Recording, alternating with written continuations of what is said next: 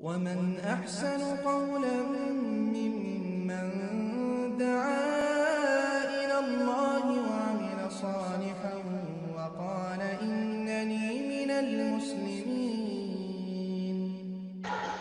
ওয়ালাইকুম আসসালাম রহমতুল্লাহি ওয়াবারকাত এক ভাই প্রশ্ন করেছেন যে জানতে চাচ্ছি শেখ এক কানে আজান অন্য কানে আকামাত দেওয়া হয় এই আজান এবং আকামাত যখন শিশু জন্ম হয় এই আজান এক কানে এবং আকামাত অন্য কানে, এটা কতটুকু সঠিক? জানালে উপকৃত হব। মাশাআল্লাহ জাজাকাল্লাহ খায়ের বারাকাল্লাহ ফি সম্মানিত ভাই। অত্যন্ত সুন্দর প্রশ্ন। অরজাবিল্লাহ তৌফিক, আলহামদুলিল্লাহ ওয়াহদা ওয়াসসালাতু ওয়াসসালামু আলা মান লা নাবিয়্যা বা'দা ও বাদ। সম্মানিত ভাই, এই কথাটি সমাজে প্রচলিত আছে এবং তাদের কাছে দলিলও আছে। যেমন সন্নাহ একটি কিতাব আছে, যে কিতাবের মধ্যে ওয়ামার বিন আব্দুল আজিজের নামে একটি কথা চালু আছে সমাজে। তিনি বলছেন, রুইয়া আনে রুইয়া আন আমার ইবনে আব্দুল আজিজ কানা ইউ আজিনু ফিল ইয়ামিনি ওয়া ইউ ফি শিমালি।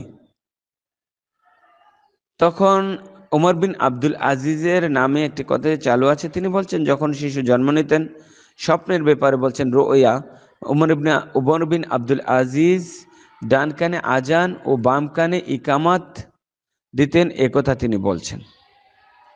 তাহলে এই কথাটি হচ্ছে মুরসাল।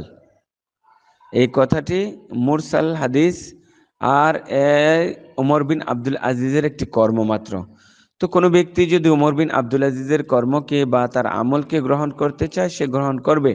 কিন্তু আল্লাহ নবী সাল্লাহ আলিয়াল্লাম যা দিয়েছেন, সে কথাগুলো আমাদেরকে বিশেষ করে জানা উচিত।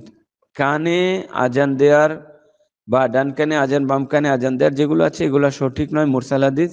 আর মুরসাল উমর বিন আব্দুল আজিজ থেকে শুরু হয়েছে, কিন্তু সহি হাদিস দ্বারা প্রমাণিত আছে, যেটা সোনানি তিরমিজিতে এসেছে। عن عبد الله ابن أبي رافع عن أبيه قال رأيت رسول الله صلى الله عليه وسلم أذن في أذون الحسن بن علي حين ولدت فاطمة বাসালাতে মানে এই হাদিসটি সুনানি তিরমিজি থেকে আর তিরমিজি ওয়াকালা হাদা হাদিসুন সাহিহুন শেখ আলবানি সাহা আলবানি এই হাদিসটি নাসিরুদ্দিন আলবানি সত্যায়িত করেছেন। তিরমিজির হাদিস, হাদিসটি সহি। অর্থ হচ্ছে, আবদুল্লাহ ইবনে আবু রাফে তার নিজ পিতা থেকে বর্ণনা করেন। তিনি বলেন, ফাতেমা রাদি আল্লাহ আনহা যখন তার শিশু হাসান বিন আবিতা হাসান বিন আলীকে প্রসব করেন, তখন রাসুল নিজে বলছেন যে, আমি তাকে আজান দিলাম। কোথায়? তার কানে নামাজের নেই আজান দেওয়া হয়েছিল। তাহলে আল্লাহ নবী সাল্লাহ আলহি ওয়াসাল্লাম, বাস সালাতি নফস মিসলি সালাত, যেভাবে সালাতে আজান দেয়, ঠিক সেভাবে তার কানে আজান দিতে দেখেছি। কে বলছেন? যে আবু রাফে নিজ পিতা বর্ণনা করেছিলেন। আবদুল্লাহ বিন আবু রাফে। তাহলে এই হাদিসটি নাসিরুদ্দিন আলবানি সাহি বলেছেন। হাজা হাদিসুন সাহিউন হাসানুন আল আলবানি। আলবানি থেকে এই হাদিসটিকে তিরমিজি, হাদিসটিকে সহি এবং হাসান বলেছেন শেখ আলবানি রাহেমাহুল্লাহ। এই হাদিসটির ব্যাপারেও কারও কারও কিছু দ্বিমত আছে, তবে এই হাদিসটি গ্রহণযোগ্য। তো আশা করব এরকমভাবে আমরা একখানে আজান, ওখানে যে আকামাত আছে সে বিষয়ে আমরা না পড়ি। আল্লাহ নবী সাল্লাহ আলাইসাল্লাম থেকে যেহেতু প্রমাণিত, সেটাকে আমরা গ্রহণ করি, সেটাই হচ্ছে আমাদের জন্য উত্তম। আশা করব, আলহামদুলিল্লাহ, আমরা এটা সম্বন্ধে এতটুকুই গ্রহণযোগ্য আমাদের জন্য, এতটুকুই আনাফ আল্লাহ রাবুল আলমিন আমাদেরকে দুনিয়া এবং আখেরাতের কল্যাণ দেন, তবে হিকমা জানা উচিত। এ বিষয়ে কোরআন হাদিসের কোনো বাণী নেই যে, তবে কোনো কোনো আলেম বলছেন যে, অবশ্যই এর হিকমত আছে। হিকমতের অর্থ কি?